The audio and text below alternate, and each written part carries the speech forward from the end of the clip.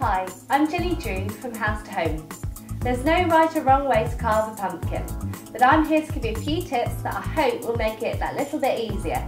The first thing you've got to do is choose your pumpkin. It doesn't really matter on the size, but I'd go for one with less markings. And when you come to cut it, make sure you choose the flattest side possible.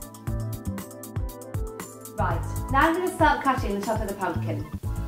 A large knife like this one is just perfect for the job, but if you have a small saw, that's even better.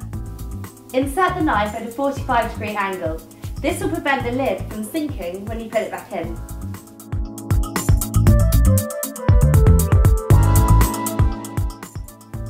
Now I'm going to remove the inside of the pumpkin. You can use either a metal spoon to do this, or an ice cream scoop, or even a melon baller, depending on the size of your pumpkin. When you finish removing the insides, be sure to shave off more on the side which you want to carve. Now for the really fun part. Choose a Halloween stencil to carve on the face of your pumpkin. I found these stencils at myhomeideas.com and I'm going to go for this traditional face design. It's the black areas here that you want to cut out.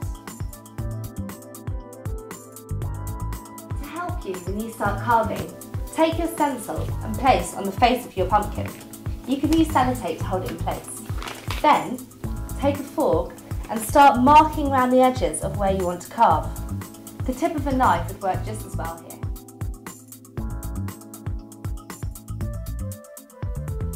I've already marked out this one, so all I need to do now is join the dots.